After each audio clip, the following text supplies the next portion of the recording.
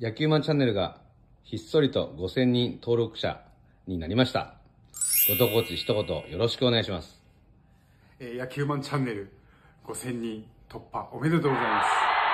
えー皆さんも、えー野球マンチャンネルご覧になって、えーぜひ、いいねと登録よろしくお願いします。それじゃあ